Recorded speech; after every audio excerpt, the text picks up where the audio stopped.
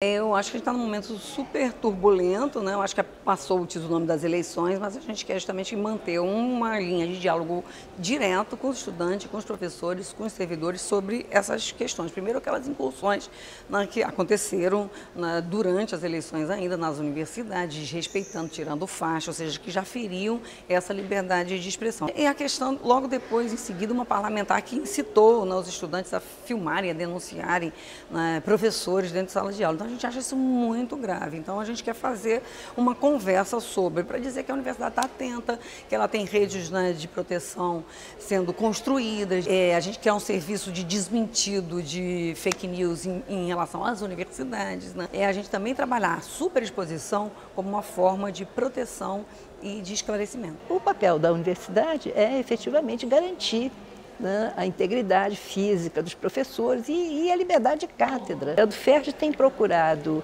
mobilizar o jurídico, o departamento jurídico da associação, é, para orientar as pessoas, inclusive nesse sentido. Tem uma coisa que é muito singela, que é se unir, né?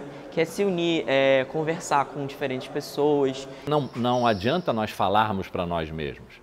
Nós temos, temos que falar para a sociedade que não nos conhece.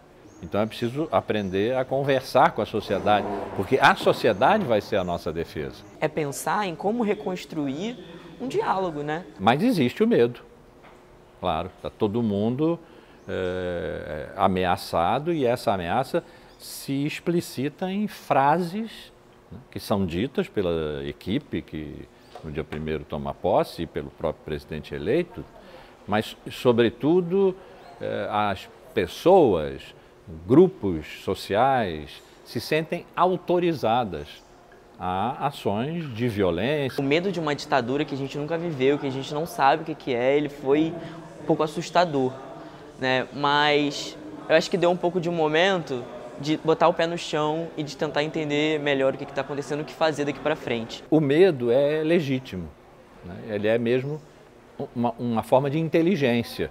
Coragem não está em não ter medo, está em saber lidar com o medo de uma maneira que defenda a autonomia da universidade, que não faça autocensura. A universidade não é um lugar de censura, a liberdade de expressão está assegurada pela Constituição, a liberdade de cátedra está assegurada, a autonomia da universidade ela é assegurada é, constitucionalmente. Então a gente quer criar um clima proativo, assim, não vamos nos autocensurar e nem antecipar nenhum tipo né, de, de repressão ou de intimidação.